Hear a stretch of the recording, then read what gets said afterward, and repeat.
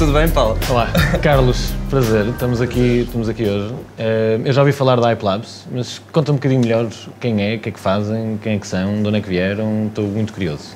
Então, a iPlabs é uma startup aqui do Porto uh, que desenvolve um SDK, ou seja, um pedaço de software que permite qualquer dispositivo comunicar, mesmo se não houver uma ligação à internet. De género, nós conseguimos ajudar apps de comunicação a comunicarem se estiverem completamente offline, se estiverem no meio do Ártico, conseguimos ajudar parques temáticos a, a, a ligarem todos os dispositivos IoT entre eles, conseguimos ajudar bancos a criarem comunicações seguras e uh, conseguimos fazer uma série de coisas, é super interessante, a tecnologia dá para muito.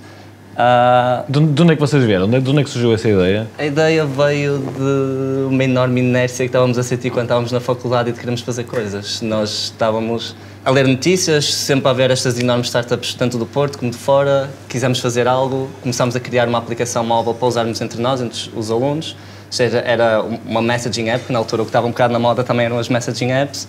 Só que, como nós tínhamos um problema, um, primeiro, eu quase nunca carregava o telemóvel por mês, nunca tinha saldo, e o meu telefone era igual, começámos a ver, ah, vamos ver se, se há alguma maneira de comunicar offline. E eh, pronto, foi um bocado de evolução natural, nós já tínhamos, já sabíamos que eram redes mesh, começámos a brincar com isso, e foi assim que surgiu. Até... E isso é que foram para o enjampado, não é? ouvi dizer que passaram sim, uma isso, temporada... Isso, isso, é muito fast forward, é, é, um bocado até agora, mas sim, tivemos a sorte, fomos aceitos no, no AngelPad, um programa de aceleração dos Estados Unidos. Quando é que foi isso? Foi em abril do ano passado. Okay. E uh, foi, foi, foi, bastante engraçado, foi uma experiência completamente diferente, permitiu-nos ver um mercado completamente diferente, permitiu-nos perceber um bocado, que eu acho que é muito importante isto nas startups, é tipo conhecer uh, the rules of the game, de certa forma isto também é um bocado o jogo e tem as suas regras que nós líamos, mas não percebíamos.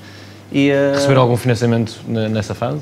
Uh, sim, depois do AngelPad tivemos o nosso Demo Day, uh, depois do Demo Day levantámos a nossa série Seed, que já agora tipo, não, não tem nada. Eu, eu sei que tu sabes isto, mas não tem nada a ver com o, com o Demo Day. Não é por sair do Angel Pad que, ok, pega, estás funded. Pelo contrário, tivemos todos os mesmos desafios que qualquer startup uh, tem quando, quando está. Uh, mas ainda estavam lá? Sim, sim, estávamos lá. Onde é, é, foi em São Francisco, não foi? Foi Nova York, depois São Francisco. Aprender, aprender lá fora é, é, diferente, não é? Embora Exato.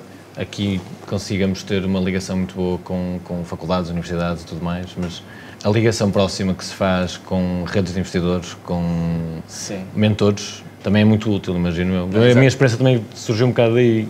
É? Eu queria ouvir um bocado sobre a tua experiência também. Veio, veio, veio um, pouco daí, eu comecei mais lá fora, não aqui. A minha experiência passou por Londres durante, durante nove anos, em que trabalhei na área de marketing digital e passado algum tempo percebi que muito daquilo que eu estava a fazer podia ser feito como consultor. E então desisti de, do tempo cinzento e decidi embarcar em uma pequena viagem e passar alguns tempos fora, fora daquela cidade e apanhar um bocadinho de sol e poder trabalhar à distância. E acabei por olhar para o Porto como, pronto, sou do Porto, portanto fazia sentido, o tempo aqui é muito melhor. Exatamente. Era muito mais fácil uh, ter um estilo de vida que me agradava muito mais. E uma coisa levou à outra, mudei-me, continuei a fazer consultoria. Aqui no Porto? Aqui no Porto, sempre para clientes estrangeiros, tanto Alemanha, Reino Unido, Estados Unidos. E uma coisa levou à outra, acabamos por criar uma empresa para poder contratar, começamos num apartamento, acabamos por ir a seguir logo para o PTEC, porque passar muito tempo num, num T1 não ajuda Exatamente. muito. Começamos a tentar fazer produtos, porque sabíamos que queríamos criar valor na empresa e manter algo mais, longo, mais, mais a longo prazo. Mas então, o que é Shift Forward? O que é que vocês construíram? A Shift Forward é uma empresa de tecnologia de marketing digital. Nós ajudamos as empresas a colecionar informação sobre os seus utilizadores, de forma a depois segmentá-la e poder criar audiências para o marketing, colocar nas plataformas de publicidade de forma a melhorar a sua performance. Portanto, imagina um Google Analytics, mas em vez do resultado ser um relatório, é algo realmente acionável. É poder dizer são homens, não são, são em que idades tem uma maior, menor probabilidade de fazer uma conversão, pode ser uma compra, pode ser uma subscrição, pode ser uh, recomendar a um amigo. E isso, até hoje, já existem plataformas para isso, chamam-se Data Management Platforms. Uhum. Uh, nós diferenciamos dos outros todos que já existem na vertente de sermos privados, no sentido de a nossa infraestrutura não é nossa, é do cliente. Os nossos dados não existem, são os dados do cliente. O cliente, quando envia informação para nós, não envia para mais ninguém e não há mais dados nenhums a irem lá parar, nem os deles têm mais lado nenhum. Portanto, claramente, nós quando olhamos para o mercado e vemos os bancos não usam o resto do mercado. Uh, tudo que é informação um bocadinho mais confidencial, especialmente agora que vai haver uma alteração na legislação em 2018 a nível europeu de privacidade e segurança de informação, uh, torna-se cada vez mais relevante estas entidades terem a garantia de que têm total controle sobre a sua informação. Portanto, quem é que usa isto? São as equipas de marketing, para poderem fazer segmentação, podes imaginar um banco, uma operadora, um, uma seguradora, uma, mesmo na área da saúde, poder segmentar, poder usar os dados próprios para fazer campanhas online, com a garantia de que aqueles dados estão completamente seguros e não foram dados nem ao Google, nem ao Facebook, nem a ninguém, de forma a poder ser usado de forma indevida.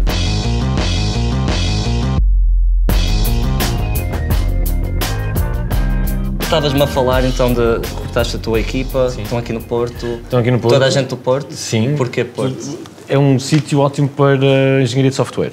Uh, com a ligação à Faculdade de Engenharia, é um ótimo sítio onde saem excelentes profissionais e, portanto, a equipa ficou toda aqui. Uh, é mesmo a nível. Mas são todos daqui ou são, são, são convenceste alguém a juntar-se e mudar-se para o Porto? São, não, são todos do Porto uh, e arredores vá. Uh, mas também temos, temos algumas pessoas lá fora como advisors, tanto a nível de vendas como a nível de estratégia.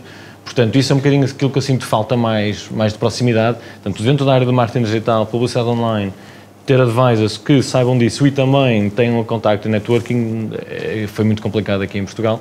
Isso, pronto, conseguimos trazer lá de fora também com algum entusiasmo. Mas como é que vocês são vistos? Já falaram com N pessoas lá fora, de certeza. Como é que vocês são vistos da perspectiva das redes mesh e da... Um bocadinho disso, porque acho que eh, há uma história aí para contar. Está muito, muito ligado ao fundraise e esteve muito ligado ao nosso fundraising nos Estados Unidos. Ou seja, nós terminámos o Angel Pad, o programa de aceleração excelente, estávamos dois dias antes do Demo Day, toda a gente a preparar os pitches e uh, o Tomás uh, vem ter comigo e diz Carlos, tipo, o teu slide a explicar a equipa de onde tu vens, ninguém percebe. Precisa tipo, de um bocadinho mais, não é? Todas as outras equipas são ex-Google, uh, ex-Twitter, malta do MIT. Este rapaz escreveu um livro sobre isto e vocês, tipo, ah, sou Carlos do Porto.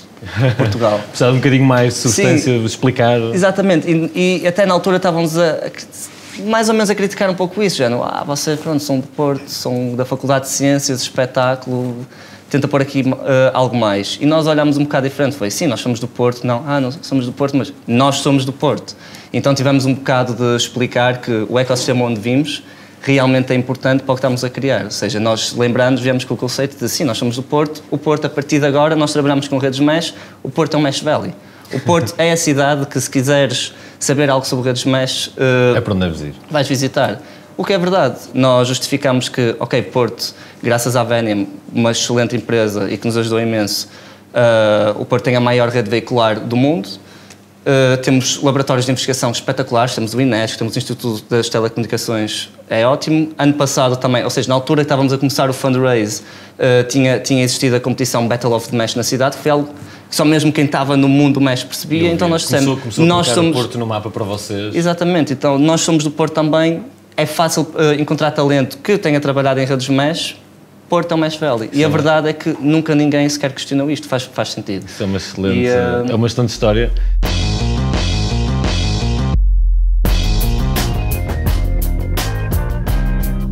A questão dos 12 meses estamos a falar é importante, porque há a ideia de que startups são todas iguais. Acho que aqui temos uma coisa em comum, não é? É difícil, fala um bocadinho mais do teu SDK e do, e do por onde é que estás a passar. É complicado é, é vender bastante, logo à partida, portanto é uma coisa muito técnica. É bastante complicado vender e quando estás à procura de uma, de, de, uma fase de investimento, buscar investidores quando tens um produto que ainda está nem sequer em fase de MVP. Ou seja, só que no entanto, por acaso eu gostava de saber o que é, como é que tu fizeste isso, como é que convenceste, foi pela proposta de valor ou se foi por métricas, mas nós, no nosso caso muito específico, nós tivemos que olhar de ok, o nosso produto é bastante complicado, temos 12 meses no mínimo uh, para desenvolver isto, até termos um MVP, e mesmo assim um MVP é super complicado.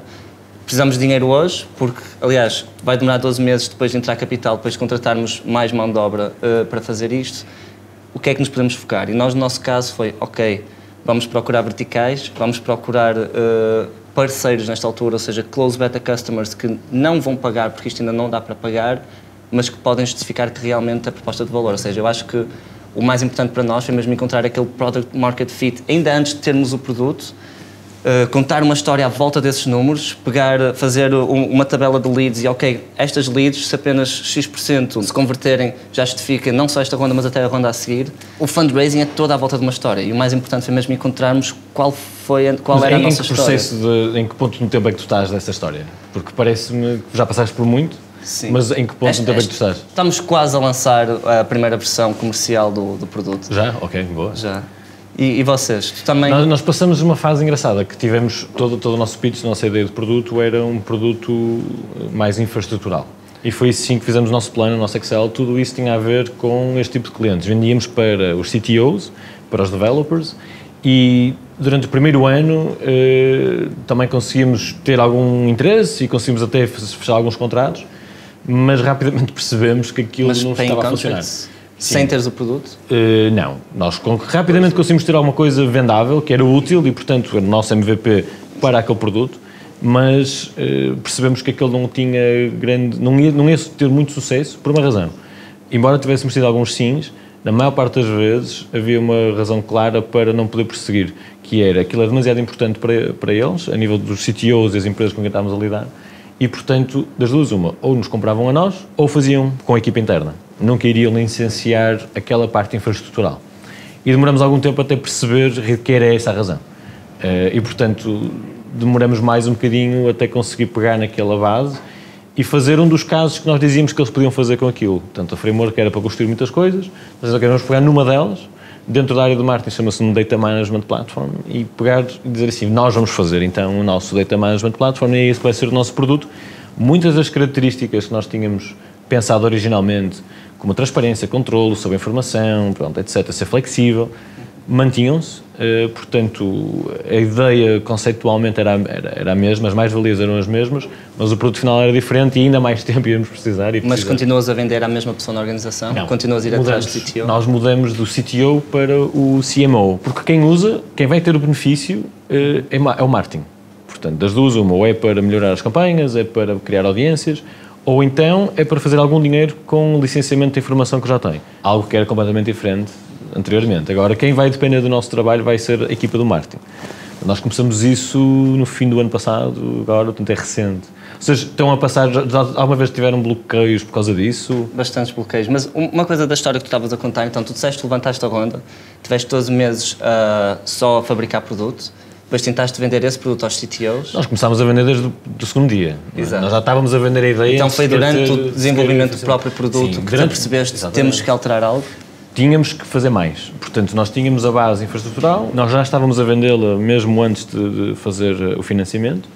eh, e tínhamos tido alguns sims, portanto fomos um bocado iludidos pelo mercado, começavam a dizer todos, ei pá, isto é espetacular, é altamente, vai-nos resolver o problema, mas quando alguém tem que assinar o cheque, se espera aí, calma aí, que isto não é bem assim. Só que isso aprendemos só quando tínhamos o contrato em cima da mesa para assinar, que não era obviamente logo na primeira nem na segunda. E o demora dinheiro meses. ronda ainda durava? Sim, sim, isso nunca tivemos, nunca tivemos problema, eh, mas fomos gerindo bem aquilo que, que tínhamos, eh, íamos fazendo alguns serviços também, até podemos cortar completamente, portanto fomos aguentando bem, mas chegou um ponto em que, pronto, tem que perceber que, que não é aquele o produto. Eh, E é preciso mudar e falar com toda a gente. Mas Uma altura isso foi- complicada. sim, mas por outro lado, por- também foi ok. Eh, Já percebemos que a razão foi identificada e, portanto, a partir de agora é mudar e avançar e sempre em frente. Estavas-me a perguntar, mas por acaso a nossa história foi, foi bastante similar e até tivemos bastante ajuda aqui da- da- de, Malta do Porto. Nós, quando começávamos, éramos, éramos uma app e nós, não, esta vai ser a melhor app do mundo. E muita gente aqui, muitos bons mentores da cidade, nos diziam: não, a tecnologia é que interessa. Vocês E- começaram com uma app mesmo para fazer app. messaging. Pois, nós queríamos, tipo, a tecnologia era uma parte da app, mas nós não vendíamos a tecnologia. Então, nós já na altura, obviamente, tipo, novos, ah, meu Deus, tipo, lemos o TechCrunch todos os dias, vamos a levantar capital porque esta app vai salvar o mundo. E uh, focámos-nos tanto, tanto à procura de levantar capital que não ouvíamos o mercado e eh, demorou um pouco a percebermos, ok, a tecnologia é que é importante. Então, nós tivemos a sorte de fazer esse pivô, vá. Eu sei que tu não foi bem um pivô, foi mais a quem estás a vender e, e mais encontrar o product market fit, mas a nós foi mesmo, mesmo no início. E é uma coisa que eu, sinceramente, se, se, há, se há alguém que tem de agradecer é mesmo à rede que nós criamos logo no dia 1, quando começamos a app, toda esta rede nos dizia não vão atrás da app, foquem-se naquilo que vocês vão, que é tecnologia.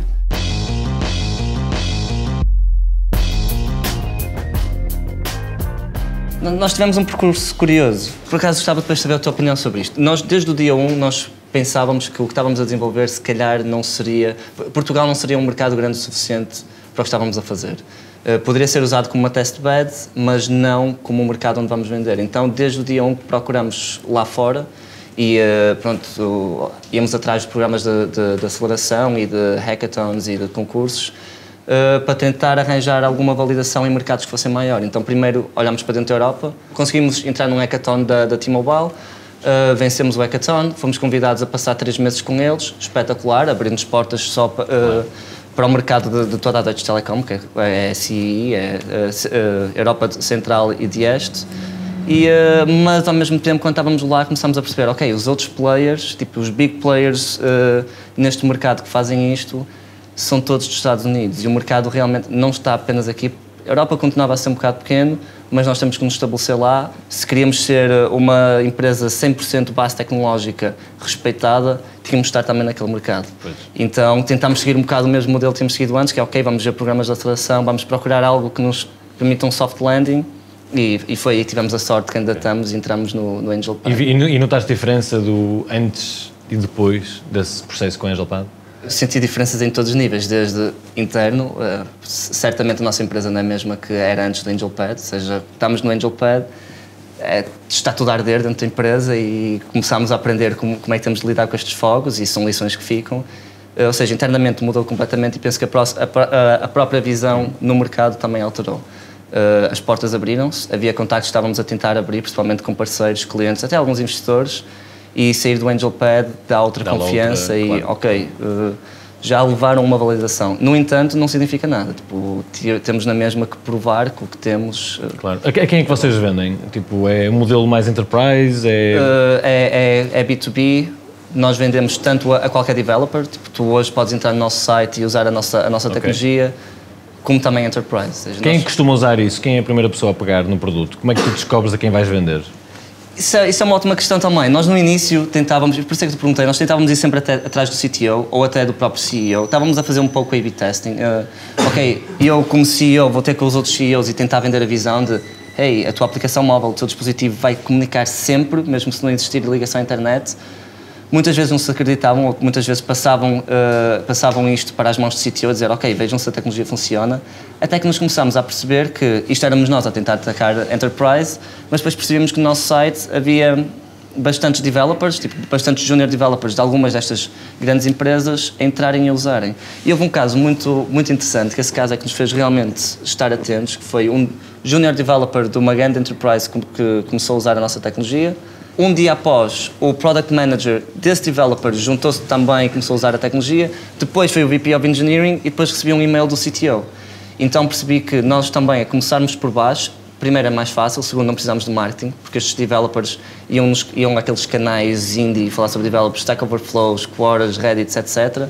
Então era quase um marketing interno que criávamos dentro das, das enterprises. E, e testamos isso, testamos isso e a verdade é que resultou 90% das vezes. O erro que nós fizemos na altura era, tínhamos um plano financeiro para, ok, este produto que já temos e o ciclo de venda já sabemos tudo, é para este espaço temporal e isso Sim. nunca acontece. Sim, mas isso é a vida de ser uma startup, não é?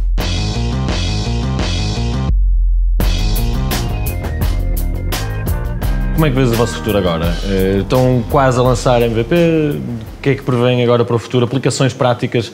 Falaste um bocadinho, mas eu estou super curioso. A primeira coisa que me veio à cabeça foi uh, aquelas situações de, de, de, de, desastre quase, em que as telecomunicações que nós todos Também. estamos habituados a, a, usar deixam de funcionar. Isso é um caso que vocês já olharam? É, é um caso que, que trabalhamos até. Pronto. O, quando nós olhamos onde nós queremos chegar, e para ser muito sincero, nós queremos ter a camada de comunicação de qualquer dispositivo do mundo, de okay. tudo. E, uh, seja um telemóvel, seja uma lâmpada, seja uma televisão, seja tudo. Okay. Só que, no entanto, para chegar aí há bastantes passos e bastantes degraus que temos de contornar. Então começamos pelo que é mais fácil, pelo que é mais rápido, que é a parte das aplicações móveis. Parte um SDK, é só o drag and drop que ele está a funcionar. E aí sim, tipo, as primeiras, a primeira aplicabilidade está a ser neste tipo de aplicações. Estamos a trabalhar com algumas agências para uh, para, para, por causa de desastres, como trabalhamos. Quase todos os dias há um use case diferente, o que é bom, mas também é um desafio. Já alguma vez tiveram que cortar, olhem, desculpa, nós Sim. não vamos fazer isto porque temos que fazer aquilo que. Isso, isso foi. Uh, isso é difícil, não é? É, foi, é Nós bastante passamos complicado. um pouco por Isto isso e às vezes é é deixar dinheiro em cima da mesa, não é? mas, não, mas não pode ser. tudo que a parte que estavas a contar quando vocês estavam já com o produto cá fora e a tentar vender o CTO, tem, tinha acontecido algo Bastante, algo sim, claro, porque havia pessoas dispostas a pagar e tivemos de dizer que não, dizendo, olhem, peço desculpa, mas nós, se calhar daqui a algum tempo, poderemos revisitar eh, este modelo, mas para já temos que mandar isto para a frente. Vocês quando Nós passamos ver, exatamente foi- por isso. Nós foi. Somos a melhor tecnologia do mundo, conseguimos já vender para tudo e já vendíamos para mobile, para telcos, para IoT, para seja o que for, mas depois era preciso tanto suporte e tanto desenvolvimento em algumas pequenas coisas para funcionar nessas verticais que não, conseguimos. Com, o- com o dobro da equipa não iríamos conseguir. E foi aí que pensamos, ok, vamos olhar para o produto, vamos olhar para o que temos agora a funcionar, vamos focar-nos na parte das aplicações, tipo, seja, nós agora estamos para iOS, Android, tvOS, macOS e Windows. E depois disto, vamos passar para a parte do IoT e depois disto. Aí sim, também por causa que os sales cycles são bastante mais longos, podemos ficar-nos nas telcos. Mas é bastante complicado teres ótimos contratos em cima da mesa e dizer, ok, isto vai, vai ter que esperar. Isto são aquelas lições que eu penso que qual- qualquer startup começa no início. Uma pessoa faz o business model canvas e vê, ah, isto está demasiado desorganizado. E os mentores dizem mas tu continuas, não, mas eu vou ser aquele que vai conseguir. E chegamos ao Angel Pad, acho que o Angel Pad que aprendemos foi a ser um bocado mais frios às vezes. Nós às vezes também nos ligávamos emocionalmente de, meu Deus, este cliente é gigante, isto vai nos mudar a vida, isto vai mudar a vida da nossa startup. Então acho que aprendemos a ser um bocado mais frios e a cortar de isto é ótimo, mas isto é um repousado que vai acabar por magoar os dentes. Tipo, isto não, não faz sentido para agora. É bastante complicado, mas, mas faz parte, faz parte da startup. É uma história que nós temos orgulho agora de contar. É uma história sempre que algum founder vem ter connosco e nos conta, meu Deus, O que é que estou a tu, o vender que é que tu para dirias, assim, as, as três lições que tu aprendeste até agora que são relevantes para pessoas que estejam a passar por um processo parecido? Isso vou pedir ajuda, vou- vou-te pedir ajuda para me fazeres um, um- uns três pontos, porque isso é, há, há demasiadas lições. Eu acho que, primeiro de tudo, perceber qual é o problema. Acho que passamos muito tempo fascinados com o que é que a tecnologia pode fazer e muitas vezes parte daí. E depois, estarão pessoas dispostas a pagar por isso. Portanto, fazer o trabalho verdadeiro de perceber e não estar um bocado iludido de que se o produto for fascinante, for espetacular, o pessoal compra. Ou outros conselhos seria eh, tentar perceber que vivemos num mundo global desde o dia 1. Nem sempre é necessário ter casos de estudo locais. Pode também funcionar desde o dia 1, bater às portas de toda a gente e as pessoas respondem. Eu lembro que um dos contratos que fechamos eh, foi enviado por e-mail a pedir um conselho a um CTO de uma empresa de média e grande dimensão, em que a resposta foi uma hora depois a dizer ainda bem que alguém me pergunta isso porque nós estamos a procurar uma solução para isso, vai já falar com este gajo antes que o processo feche. Portanto, não custa nada mandar aposta, não interessa onde é que as pessoas estão e são bastante receptivas. É as duas coisas que eu, que eu diria. E, e tu? O que é que tu dirias? sobre- Curiosamente, o, eu diria algo bastante parecido com o que tu disseste, vai um bocado à volta de não tenhas, não tenham vergonha. Se há uma coisa que eu sinto e eu sei que nós passamos é nós estamos a, a fazer isto, não queremos ou que ninguém nos roube, ou estamos com medo de perguntar, ou às vezes pensamos se calhar o produto já não está no ponto para ir falar com esta pessoa. Isso, é o, isso, isso é o maior erro, isso é estar a adiar o, in- o inevitável. Eu acho que o conselho que dou a toda a gente é põe cá fora, ouve feedback, eh, analisa o feedback. Também uma coisa eu acho que às vezes acontece errado é eu falo com alguém, essa pessoa dá uma, uma opinião, eu altero o meu percurso, depois falo com outra pessoa e mudo o percurso. Isso também não. Eu penso que o mais importante é procurar aquele caminho que vou errar mais rápido se fizer isto, em vez de vou ficar aqui confortável, vou levantar eh, X, eh, X amount of money e estar aqui, se falhar outra vez. Não, nós desde o início foi, se vamos falhar com isto, vamos falhar muito, muito, muito rápido. Olha, obrigado. Obrigado. Até à próxima. Até à próxima.